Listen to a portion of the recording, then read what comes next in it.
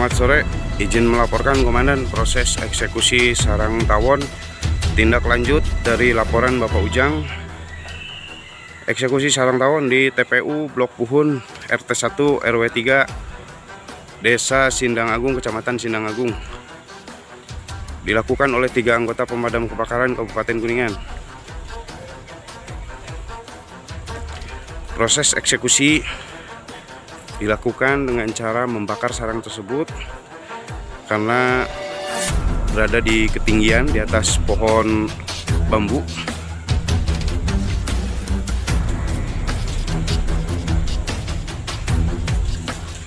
Tingginya sekitar 10 meter lebih kurang lebihnya 10 meter.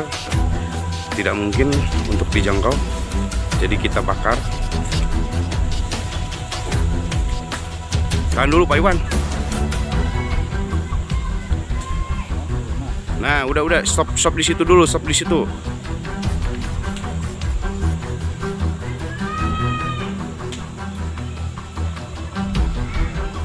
Sekian laporan dari TKP tempat pemakaman pemakaman umum Desa Sindang Agung di Blok Pun. Sekian, terima kasih.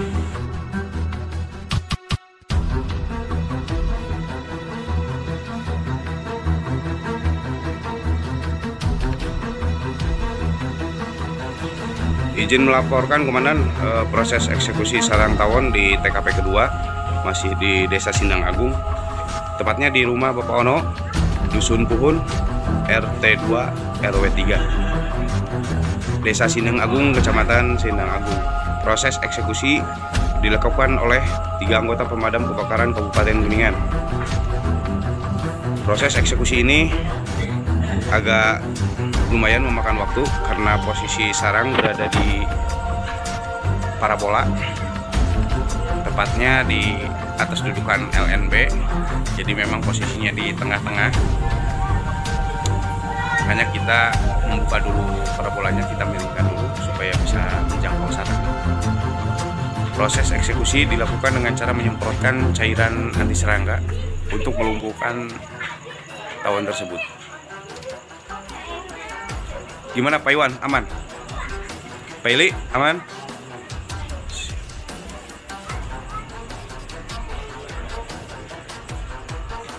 Ini posisi sarangnya.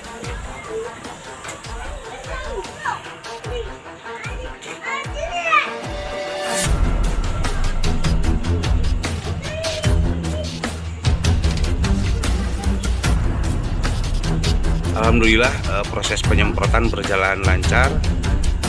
Tawon bisa dilumpuhkan. Sekarang proses pembersihan. Kita masukkan ke dalam karung. Proses eksekusi dilakukan karena memang sarang ini dikhawatirkan mengganggu masyarakat setempat karena berada di atap rumah warga di pemukiman padat penduduk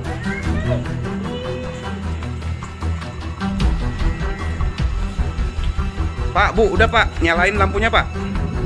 Oh, nyalain dong. Nyalain.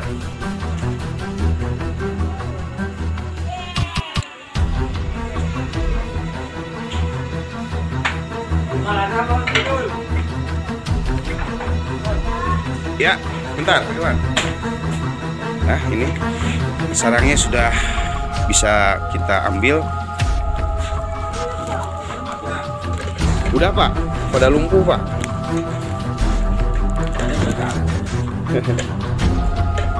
Nah ini saya banyak tuh Guru. Sekian laporan dari TKP kedua Desa Sinang Agung terima kasih